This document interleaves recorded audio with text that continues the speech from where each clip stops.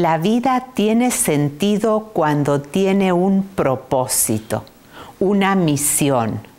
Y una familia alcanza la felicidad cuando en lugar de mirarse los unos a los otros, miran hacia afuera de su círculo reducido, hacia los que están más allá, hacia los más necesitados.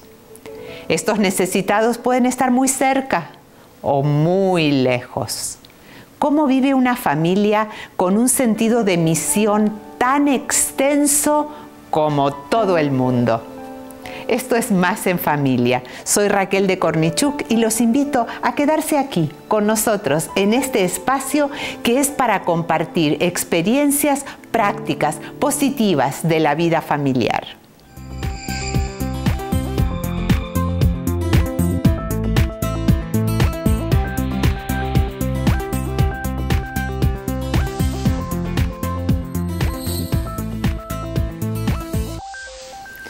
Estamos en Más en Familia. Hoy tenemos una familia muy especial y muy viajera con nosotros, la familia Pennycook. Bienvenidos todos. Gracias. Gracias. Justas, Cecia y los niños, ¿cómo te llamas tú? Yo me llamo Justas. Ajá, ¿y cuántos años tienes, Justas? Yo tengo ocho años. Ocho. ¿Y tú cómo te llamas, precioso? Jared. Jared, ¿y cuántos años tienes, Jared? Seis. Seis años. Mm, muy bien. ¿Y ustedes han vivido toda su vida en México? No. No. ¿Dónde han vivido? En Lesoto. En Lesoto. ¿Y dónde queda eso? Queda al sur de África. Al sur de África. Bueno, Oh, no al sur de África, hasta el sur, sur, sur, sur. no al, África. al- al final, al sur-sur, pero en la parte del sur. Ah, muy bien. Eh, Justas y Cecia, ¿a qué se dedican? ¿A qué te dedicas, Justas? Soy médico, oftalmólogo y um, doy clases aquí en la Escuela de Medicina. En la Universidad de Aquí Montemorelos. Muy bien. ¿Y correcto. Cecia, tú? Soy administradora, trabajo en el Hospital La Carlota en el área de efectividad institucional. Muy bien. ¿Y ustedes han vivido muchos años fuera, en el extranjero? De hecho, yo diría que son una familia de misioneros. ¿Verdad que son una familia de misioneros, chicos? ¿Y les gusta ser una familia de misioneros? Sí. Ay, qué bueno. Cuéntenme, papá y mamá, cuando ustedes se conocieron, ¿tenían en mente algo de esto de que iban a, a ser misioneros en el mundo? Adelante. Yo quería ser misionera aún antes de conocerlo. ¿De Tenía veras? ese ¿Desde deseo. cuándo? Em, cuando estaba estudiando en la universidad, empecé, am, estaba cerca de graduarme y empecé oficialmente ya a buscar en qué lugar. Entonces em, buscaba lugares donde pudiera ir eh, a través de ADRA Ok. y platicando con Justas, yo lo conocía de Sociedad de Jóvenes, no estábamos quedando de novios ni nada. Eran así amigos, Sí, conocidos. Amigos, trabajamos Ajá. Trabajamos en sociedad. llamaba. Ah, no le crea, corten esa parte. Eh, estábamos en sociedad de jóvenes y yo le comentaba, mira, estoy tratando de aplicar y él me contó que él ya había ido de misionero antes. ¿De veras? ¿A dónde había Yo sido he estado en? Angola por un año. ¿En- En, en- Malanch se llama el lugar. ¿Siendo estudiante o después no, que Fue terminaste? justo después de terminar la carrera. Apliqué a varios lugares y me contestó eh, un proyecto de la Comunidad Europea Ajá. que estaba asignado hacia ADRA. Ok. Así que a mí me tocó el ¿Fuiste lujo. cuánto tiempo? Un año. ¿Y qué hiciste? Médico general. Oh. Eh, trabajaba en un hospital general. Hacía atención básica primaria Como voluntario. como voluntario.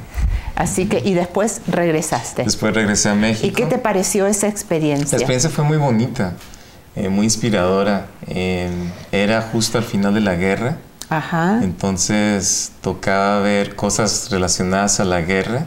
Y yo regresé aquí a, a México y le dije a Dios, yo quiero salir otra vez, pero a un lugar donde no haya guerra, donde no haya malaria y pueda estar tranquilo con la familia. Le puse mis condiciones a Dios. Pero estaba increíble. soltero entonces. Pero estaba soltero. Oh, Y ah, ya regresé, hice la especialidad ok. y haciendo en la oftalmología. en sí. Y haciendo la especialidad fue que eh, cono- nos conocimos Ok. eh, trabajando para Sociedad de Jóvenes. ¿Y tú nunca habías salido fuera de, de México así en proyectos de este tipo? Al momento de conocerlo, no. No. Eh, mis padres son, bueno, mi papá es pastor, mi mamá maestra, y hemos estado involucrados en misión, pero dentro del país, no Ok. fuera del país. Ajá. En tu caso, Justas, tu Soy hijo de familia. misionero. Sí, y tu- tus padres sí han viajado y han servido en padres han servido en distintos. muchos lugares. De Eh, hecho, ¿de dónde eres, oriundo? Yo soy de Costa Rica. Ok, muy soy de bien. Costa Rica, San José. De San José, Costa Rica. ¿Y tú, Cecia? De Guadalajara, aquí en México. Ok. ¿Y ustedes, chicos, dónde nacieron? ¿En África? Yo, eh, hermano, los dos no nacimos en África, los dos nacimos aquí en el continente americano. No, nacieron aquí, sí, pero la mamá vino para que ustedes nacieran acá, me parece. Sí, yo Ah. nací en Montemorelos. Oh, naciste en Montemorelos. Entonces, encontraron ese sentido de misión como algo que los, los unía como novios. ¿Y cómo se concretó esto? ¿Cómo fue creciendo el Esta- deseo? La iglesia, la iglesia tiene sus pólizas políticas. Sí, Entonces aplicamos, recuerdo, a, a- a varias divisiones, a departamentos de salud. Y dentro de eso uno de ellos contestó, que fue el hospital de Lusaka, el hospital de ojos en Lusaka, en Zambia. Eso fue en el 2004. Ajá. Eh, recuerdo que estábamos con ya planes de boda para junio. ajá. Y recibimos una llamada a la conferencia general el 28 de febrero que teníamos que estar el 14 de marzo en el área de trabajo. Oh, ustedes tenían fecha de boda en junio y les estaban asignando en marzo. La, la iglesia prepara misioneros en el Sí. programa que tiene con un curso, un instituto de misiones. Claro, sí, sí, sí, para ayudarlos a ambientarse culturalmente, a qué es lo que esperan. Y ahí había uno preparado en Kenia solo para misioneros que fueran a servir en, en África. Oh, ¿y en qué fecha era eso? El, 20 el 14 de, Para el 14 de marzo. De marzo. Y ustedes eran solteros. Sí, ¿Y qué, qué pasó? pues reunión de familias. Ajá. Nos juntamos las dos familias y empezaron a platicar qué vamos a hacer, que él vaya primero, que mejor eh, regresa después de un año y luego nos casamos, lo vamos juntos y ahí estábamos deliberando. Entre las dos Entre familias. las dos familias, los papás de... Así de que ambas. ustedes involucraron a sus papás en esta Claro, decisión claro. tan importante, ¿eh? Correcto, Ok. correcto. ¿Y, y qué decidieron las dos familias? ¿O ustedes decidieron? Hicieron Se una decidió que nos casáramos en ese momento Ah, y aceleramos todo el proceso. así que en cuántas Así. semanas, Dos, en dos semanas, dos semanas. se casaron. Y no me diga que se fueron de luna de miel a, a- a África. Fue- la boda terminó A las on- 11 de la noche. noche. Y a las 3 de la mañana de la estábamos mañana. saliendo. Pasamos dos noches en Londres Ok. y ahí se Kenia. acabó. De ahí hasta Kenia. Ok. Ok. ¿Cuánto tiempo estuvieron en Zambia? Cinco años. Justo cinco Ok. años. ¿Los niños ya No. habían nacido? No. Ustedes no se acuerdan de Zambia. No.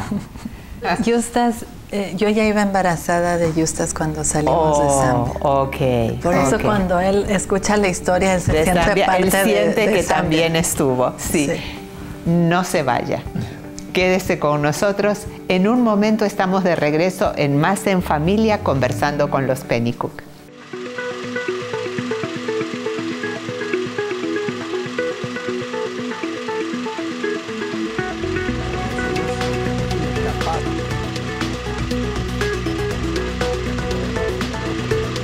Porque las historias nos enseñan sobre la vida, hablemos en corto.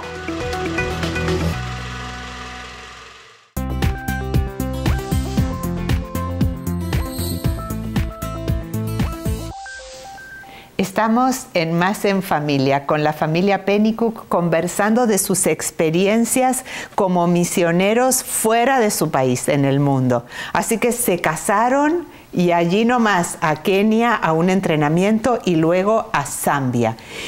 ¿Cuál fue el, la primera reacción, el choque, me imagino, de cultura, de lengua, mm, recién casados? ¿Cómo fue esa adaptación al mundo de misioneros en Zambia? Creo que, creo que los dos nos reímos porque nos recogieron en el aeropuerto. Ajá y no nos llevaron por la carretera principal, sino que nos llevaron por carreteras aledañas, secundarias para llegar.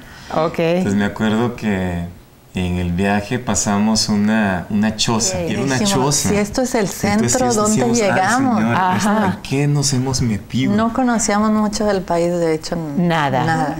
Obviamente ya después fuimos y nos dimos cuenta que esto nada más era una parte muy, muy al día siguiente yo dije... Una parte de una aldea de, de, la ciudad. Me puede llevar a un lugar donde hagan compras. Y ya que fui a una tienda, no hay variedad, pero hay. Ajá. Entonces ya vimos, ah, bueno, vamos a sobrevivir. Ok, las cosas básicas están. Sí. Ok. Y es, y es curioso eso porque recuerdo que los primeros meses anotamos esto cuando vamos tenemos que comprar. Teníamos una lista, una lista de cosas para cuando volvieran a, México. Porque creíamos que no podíamos vivir sin ellas. Entonces ya la lista de lo que creíamos que era indispensable ya se volvió no es necesario. ¿Cómo qué, por ejemplo? Para que la, nuestra audiencia tenga... Se volvió un choque al revés. Por ejemplo, entramos a la tienda y yo simplemente yo quería leche. No ah, me importaba qué tipo era. Simplemente queríamos leche. Porque eh, allá en Zambia había un producto y había que dar gracias a Dios que, que, hay. Hubo un tiempo que no hubo entrada de, vegetales ni de frutas, solo lo que el país producía. Y todo el área de verduras solo había calabaza. Era lo que había. Ok, así que comían calabazas. Sí. ¿Qué eh, respecto del idioma? Fue un reto. El idioma, creo que lo más... Eh, inglés es el oficial. Ajá pero hay 74 dialectos. Ok. De los 74 dialectos, 5 son los principales. Ajá. Entonces, aprendimos en el momento a llevar una conversación básica para poder ir al mercado, regresar, consultar, ir al baño. Oh, em, cosas tan básicas que uno... sí. En, uno de los idiomas. Recuerdo que el personal, cuando se dieron cuenta que ya empezábamos a dominar uno, entonces cambiaban a otro. Ah, para que no los entendieran. sí. Pero ah. al, llegar, perdón, al llegar nos iban guiando, eh, presentándonos y decían, no, tienes que aprender mi idioma. Y nos enseñaban palabras de un idioma. Y luego el siguiente, ya al final del recorrido yo ya no sabía ni cómo era hola porque es muributí. o sea, cada quien decía el suyo y son muchos. Oh, De hecho, en quirófano tenían retos porque traían gente de área rural y a veces una enfermera sabía dos, tres, pero justo la persona no sabía el idioma de esa persona, así que traían a otra enfermera que le tradujera para esa persona. Qué desafío. Ahora, ¿cuáles fueron las satisfacciones de servir en Zambia? La gratitud, yo diría. O, sea, uno se siente satisfecho. Es un reto el estar fuera eh, de su país, lejos de familia yo creo que la familia es lo que más, más duro.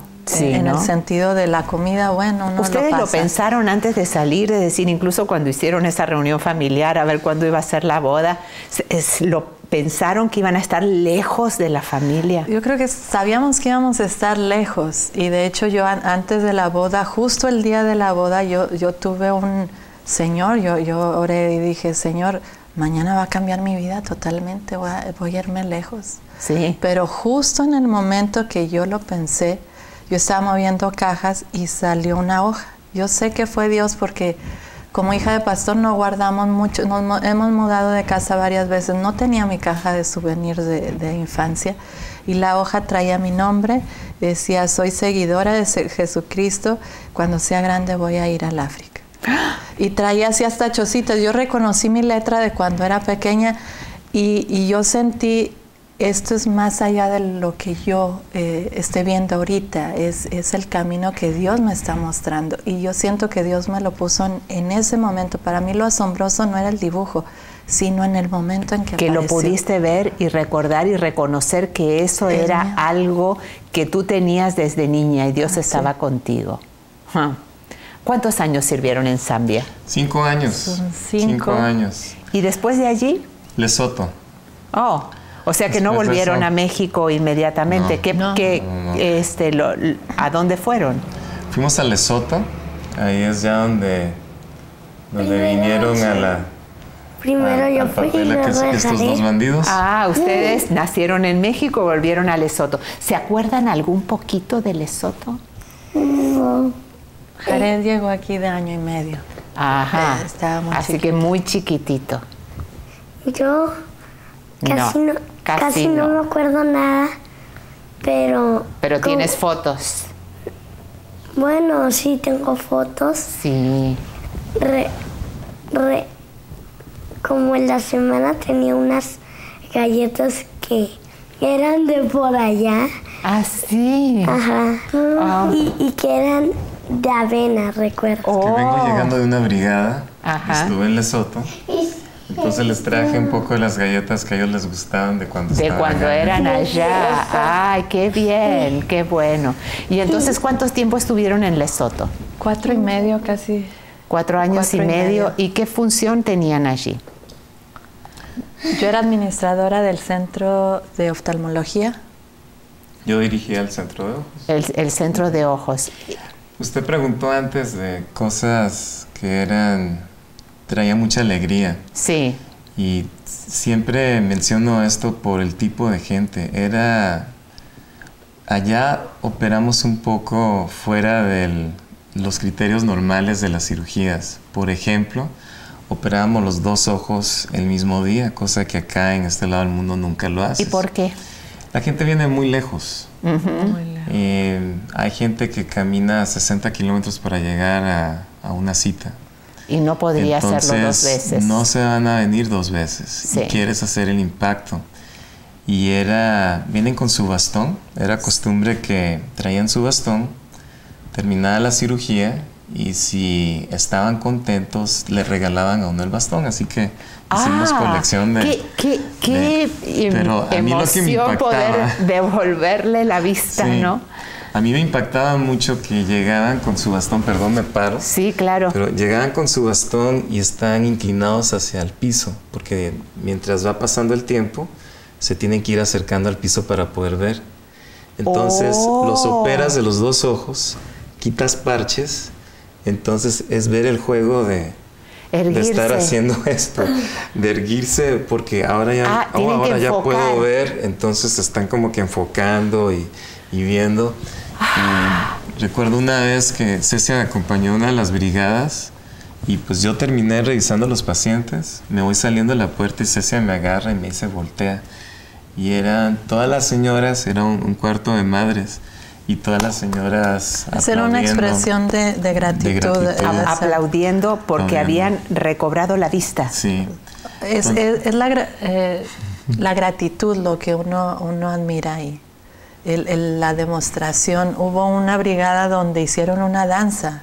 Una danza. Pero es una danza de, de alabanza a Dios. Es, es una O danza. sea, no, no es hacia uno, Sí. es, es Y yo recuerdo... hacia el Señor y empiezan a alabar y dar gracias y, y van bailando diciéndole gracias. Es impresionante. Un video donde él tiene donde está una señora y dice bendícelos, gracias que los trajiste y uno se queda, ay Señor, realmente Sí. lo poco que uno haga, qué impacto y lo, lo grandioso es que ven a Dios, no ven a uno.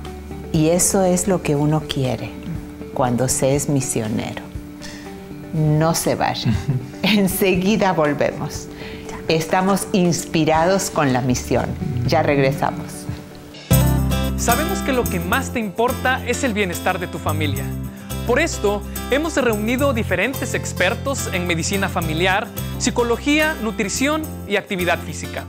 En cada capítulo nos resolverán dudas y nos darán recomendaciones para tener un estilo de vida saludable. Porque la felicidad y la salud de la familia no se improvisan. Aprende con nosotros en Saber Vivir.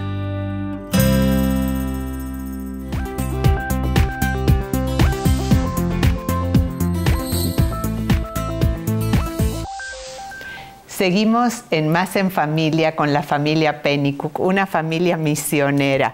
Cuéntenos ahora, ¿cómo hacen este emprendimiento misionero en familia? ¿Los niños se involucran en actividades con ustedes? ¿Cómo, cómo viven esta misión? lo mencionaría de esta forma. muchas veces uno sale al campo misionero con el título que te da la iglesia, ¿no? Vas como médico a tal y tal lugar. Ajá, con la idea de que es eso. Que es eso. Pero no. Pero no siempre es eso, ¿verdad? Dios siempre te coloca algún tipo de misión al lugar al, lugar al cual vas. Eh, una de las cosas que hemos visto es que los lugares a los cuales hemos ido, siempre también hay que involucrar a otras familias en el sentido de misión. ¿Y cómo inclusive, lo han hecho? Inclusive familias que vienen de misioneras al lugar. Oh, ah, ok. Y, en eso, algo de lo que siempre nos gustaba era, siempre lo hemos hecho es tener el culto de la familia. Ok. ellos estaban chicos los dos, pero había una pareja, había una pareja de otro país, europeo, que venía siempre y pasaba el tiempo con nosotros y casi siempre nos visitaban en la noche. Ok. Y aunque llegaran, si era culto, les pedíamos que ah, nos acompañaran. Así que la hora del culto de la familia era sagrada. Si había, si había visitas, nos se juntaban. Ok, ¿y qué pasó? A ver, ahora sí, te toca. Ajá. ¿Qué pasó, Cecilia? al inicio para nosotros siempre fue curioso con los niños porque nos pasó que se nos dormían. Decíamos, le seguimos. Él me decía, pues sí, hay que seguirle. Bueno, le seguíamos. Y ellos eh, nuestros amigos se fueron involucrando viendo cómo hacíamos el culto, lo que hemos visto nosotros a nuestros padres y aquí mismo, cómo, cómo se lleva a cabo el culto. Hace unos dos años recibimos llamada de ellos. Ellos ya regresaron a, Europa y nos contaron contentos que, que ya tienen dos niños tienen hijos. Y dice, así como nosotros los vimos a ustedes, nosotros no lo vemos acá, bueno, en, la iglesia donde están, no hay muchos jóvenes.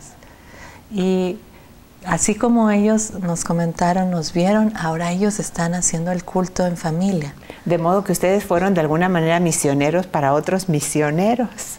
Es que la misión es así en círculos concéntricos. ¿Y qué otras cosas se involucran así como un proyecto misionero de familia? Yo creo que obra misionera es una, un área donde eh, los niños tienen mucho impacto. Ajá. Eh, hubo varias actividades de la iglesia, por ejemplo, repartir literatura. Sí, ¿les gusta a ustedes? ¿Qué? ¿Qué les gusta hacer como misioneros? Gustaría estar en la escuela y contar de Jesús estar en la escuela y contar de Jesús a algunos niños que no saben, que nunca escucharon. ¿Y tú, Justas? A, a, mí también me gustaría ir a la casa apoyarles a mis papás con su trabajo. Ah, eso es muy bien. Yo debo agregar algo. cuando uno está allá, pues te agarran de todo, ¿verdad? En el misionero te toca hacer de todo. Sí, sí, sí, porque las expectativas son, muy, altas de un extranjero que viene para una misión. Pues una de las expectativas es que te toca predicar. Ajá. Y recuerdo que al inicio yo le decía a Junior específicamente, oye, em, ¿vas a ayudarme con el versículo de, de memoria? ¿Lo vas a decir ante toda la iglesia? Sí, yo lo digo. Entonces al inicio era nada más decir el versículo. Pero últimamente se ha hecho de que yo me paro a predicar y tengo que limitar el tiempo del cual él habla. Porque él ya mm. empieza a predicar, él también a la, a la, a la audiencia. Pero tantito, tantito. Ah, un poquito. Él dice tantito. Le ayuda al papa. Ayudas al papi a predicar. Le predicas a otros niños, les hablas a otros niños. Ahora, ya no piensan salir más al extranjero regresaron a México. Entiendo que, tú aquí proseguiste algunos estudios adicionales de tu área de especialidad. Y ahora están establecidos y la, misión en el mundo es una historia del pasado. Yo creo que cuando Dios llama, em, uno busca la manera de estar en sintonía con lo que Dios quiere que uno haga. Ok.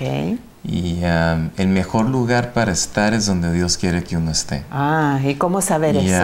Uh, orar, mm. orar. mucha oración, yo creo que eh, platicamos mucho en familia de la posibilidad de poder salir y ahora se nos ha presentado. ¿Qué, posibilidad el poder salir. Vamos a, con la bendición de Dios salimos ahora hacia Ruanda. Hacia Ruanda. Hacia Ruanda. ¿Dónde queda Ruanda, chicos? No sé. No sabes. ¿Y tú, Justas, sí sabes? Sí. En, En, en- en Europa, en No. América. bueno, es, ese país es pequeño Ajá. y, y está en África. Está en África. ¿Y sabes qué hablan ahí en ese país? Sí. ¿Qué hab- hablan? Hablan inglés, Ajá. francés Ok. y... Y algunas otras lenguas, estoy seguro. Así que sí Sí. saben. Así que, ¿qué van a hacer en, en- en Ruanda? ¿Para qué es el llamado? Van de misioneros toda la familia. Pero, ¿cuál es la excusa, digamos? ¿Qué la vas iglesia, a hacer? la iglesia está por abrir una nueva escuela de medicina. Ah, ok. Es la séptima, la séptima escuela de medicina que en, en tiene el la mundo, iglesia. sí. Y um, esta se está abriendo allá en Ruanda. Y vas para dirigir ese proyecto de dirigir una escuela de medicina. Así que tienen un proyecto muy desafiante. ¿Qué le dirían a las familias o a los novios? Un consejo, porque se me está terminando el tiempo. ¿Qué le dirían? ¿Vale la pena ser misioneros en el mundo o no? La clave es donde Dios te llame a ir. Ok. Pero cuando Dios llama, hay que hacer caso. Mm, Entonces la clave es esa comunicación con Dios. ¿Qué mejor mensaje puede dar una familia que el mostrarlo? claro. Que el- lo que nos han dicho de, oye, el niño ora en un restaurante, oye, está orando Sí. solo, o en el avión que nos Sí. hacen comentarios. Entonces, ¿qué mejor testimonio puede dar una familia que va a otro lugar? Sí, diga predicarlo, pero el que vean a una familia, ese es el mejor Eso es mensaje la que puede misión. hacer. Pues gracias, muchas gracias familia Pennycook por compartir con ustedes y los tendremos en nuestras oraciones en su próximo campo misionero. Y entonces les decimos, utilice la Biblia. Es la mejor guía de ruta para ser un misionero. Hasta el próximo encuentro en Más en Familia.